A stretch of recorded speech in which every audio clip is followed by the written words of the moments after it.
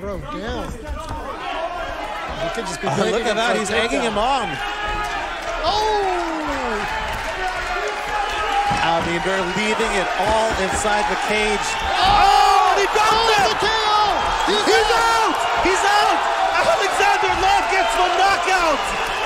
Oh my goodness! What a oh, fight! Oh my gosh! Malikor asked to throw down. Alexander